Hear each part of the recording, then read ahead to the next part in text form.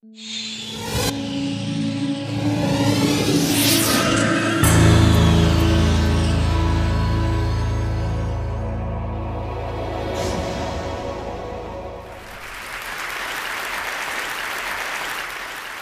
for any of us in this room today, let's start out by admitting we're lucky. We don't live in the world our mothers lived in, our grandmothers lived in, where career choices for women were so limited. And if you're in this room today, most of us grew up in a world where we have basic civil rights. And amazingly, we still live in a world where some women don't have them. But all that aside, we still have a problem, and it's a real problem. And the problem is this women are not making it to the top of any profession anywhere in the world. The numbers tell the story quite clearly 190 heads of state, nine are women. Of all the people in parliament in the world, 13% are women. In the corporate sector, women at the top, C level jobs, board seats, tops out at 15, 16%. The numbers have not moved since 2002 and are going in the wrong direction. And even in the nonprofit world, a world we sometimes think of as being led by more women, women at the top, 20%. We also have another problem, which is that women face harder choices between professional success and personal fulfillment. A recent study in the US showed that of senior managers, of married senior managers, two thirds of the married men had children, and only one third of the married women had children. A couple of years ago, I was in New York and I was pitching a deal. And I was in one of those fancy New York private equity offices you, you can picture. And I'm in the meeting, it's about a three hour meeting. And two hours in, there's kind of needs to be that bio break, and everyone stands up. And the partner running the meeting starts looking really embarrassed. And I realize he doesn't know where the women's room is in his office. So I start looking around for moving boxes, figuring they just moved in, but I don't see any. And so I said, So did you just move into this office? And he said, No, we've been here about a year. And I said, Are you telling me that I am the only woman to have pitched a deal in this office in a year? And he looked at me and he said, Yeah, or maybe you're the only one who had to go to the bathroom. so the question is, how are we going to fix this? How do we change these numbers at the top? How do we make this different? I want to start out by saying I talk about this about keeping women in the workforce because I really think that's the answer. In the high income part of our workforce, in the people who end up at the top Fortune 500 CEO jobs or the equivalent in other industries, the problem I am convinced is that women are dropping out. Now, people talk about this a lot, and they talk about things like flex time and mentoring and programs companies should have to train women. I want to talk about none of that today, even though that's all really important. Today, I want to focus on what we can do as individuals. What are the messages we need to tell ourselves? What are the messages we tell the women that work with and for us? What are the messages we tell our daughters? Now, at the outset, I want to be very clear that this speech comes with no judgments. I don't have the right answer. I don't even have it for myself. I left uh, San Francisco, where I live, on Monday, and I was getting on the plane for this conference. And my daughter, who's three, when I dropped her off at preschool, did that whole hugging the leg, crying, Mom, you don't get on the plane thing. This is hard. I feel guilty sometimes. I know no women, whether they're at home or whether they're in the workforce, that don't feel that sometimes. So I'm not saying that staying in the workforce is the right thing for everyone. My talk today is about what the messages are if you do want to stay in the workforce. And I think there are three. One, sit at the table. Two, make your partner a real partner. And three, look at that. Don't leave before you leave. Number one, sit at the table. Just a couple weeks ago at Facebook, we hosted a very senior government official, and he came in to meet with senior uh, execs from around Silicon Valley. And everyone kind of sat at the table. And then he had these two women who were traveling with him who were pretty senior in his department. And I kind of said to them, sit at the table. Come on, sit at the table. And they sat on the side of the room. When I was in college, my senior year, I took a course called European Intellectual History. Don't you love that kind of thing from college? Wish I could do that now. And I took it with my roommate, Carrie, who was then a brilliant literary student and went on to be a brilliant literary scholar. and my brother, smart guy, but a water polo playing pre med who was a sophomore. The three of us take this class together. And then Carrie reads all the books in the original Greek and Latin, goes to all the lectures.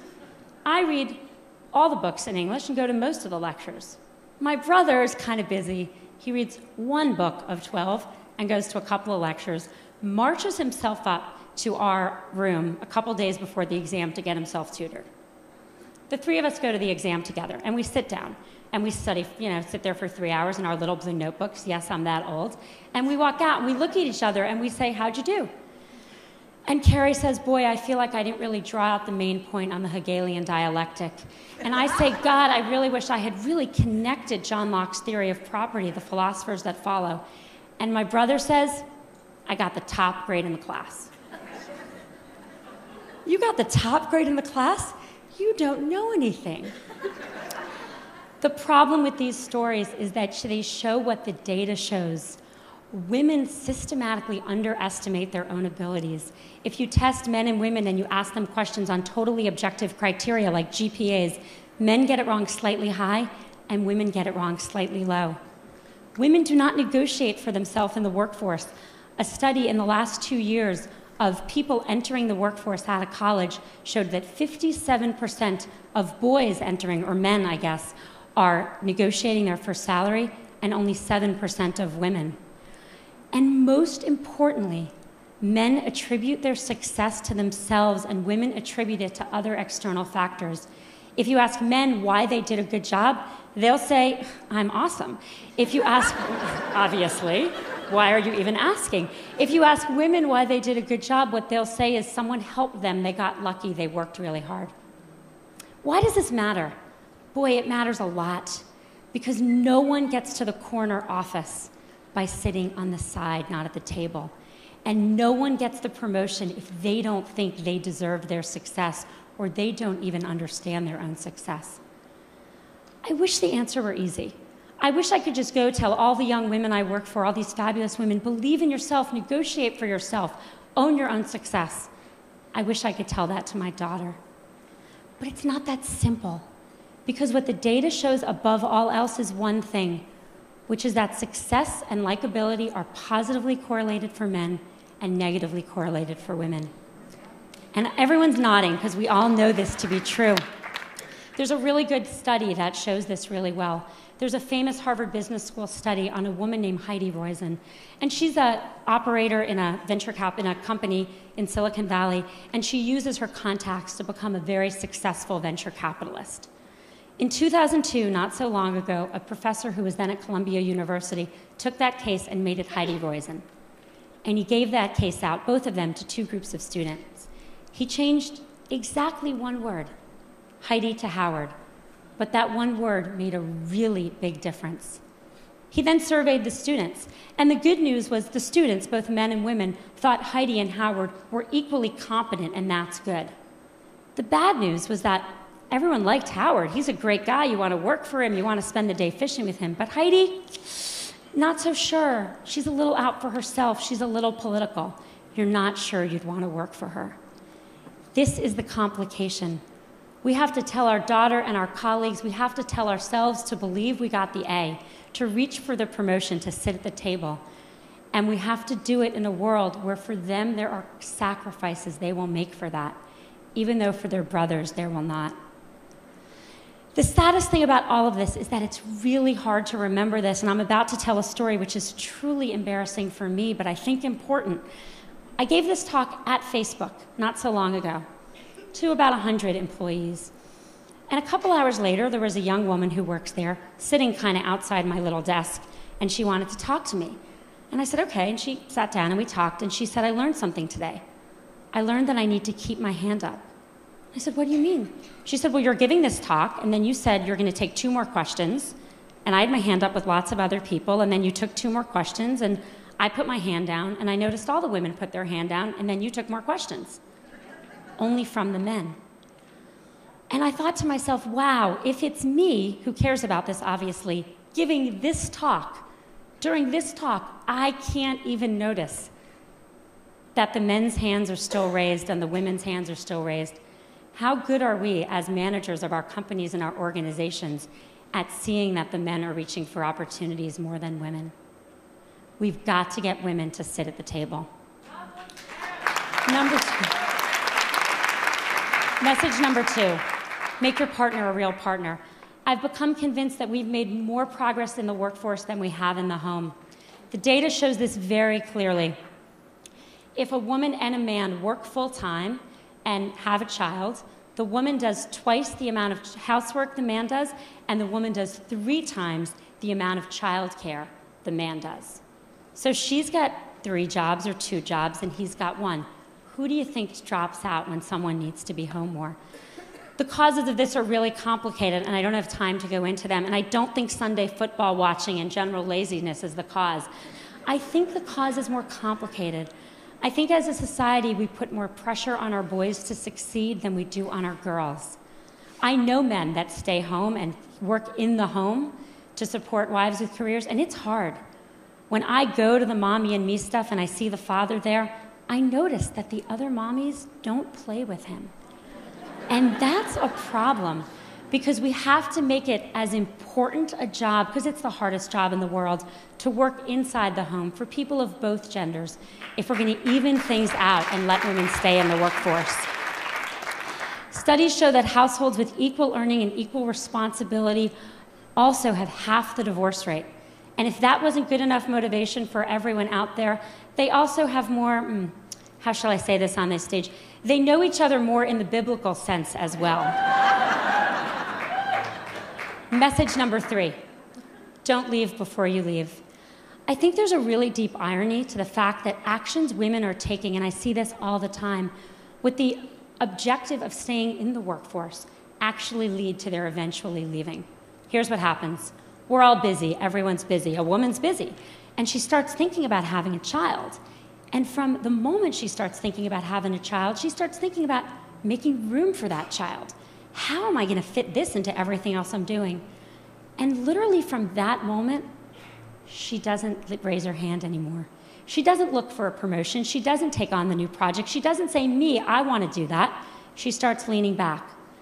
The problem is that, let's say she got pregnant that day, that day, nine months of pregnancy, three months of maternity leave, six months to catch her breath. Fast forward two years, more often, and as I've seen it, women start thinking about this way earlier when they get engaged, when they get married, when they start thinking about trying to have a child, which can take a long time. One woman came to see me about this, and I kind of looked at her. She looked a little young, and I said, So, are you and your husband thinking about having a baby? And she said, Oh, no, I'm not married. She didn't even have a boyfriend. I said, You're thinking about this just way too early. But the point is that what happens once you start kind of quietly leaning back?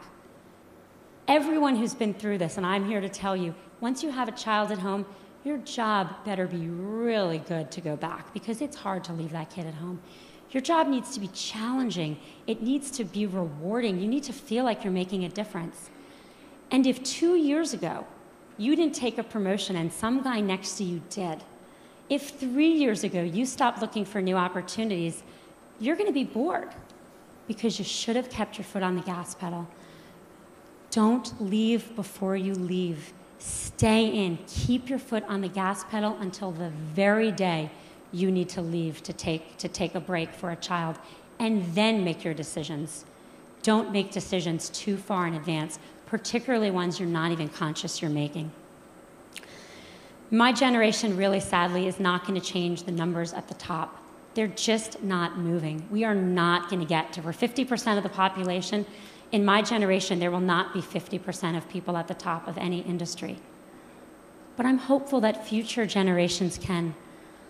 I think a world that was run where half of our countries and half of our companies were run by women would be a better world. And it's not just because people would know where the women's bathroom are, even though that would be very helpful.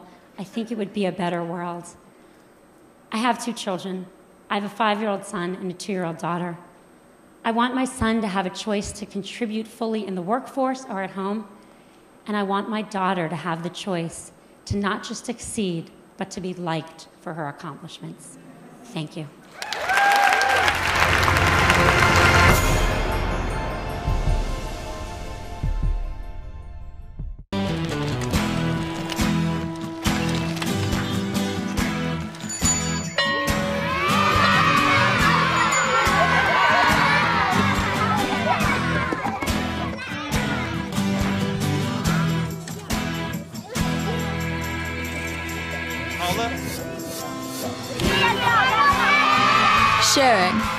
That's video on the Human Network. Cisco, welcome to the Human Network.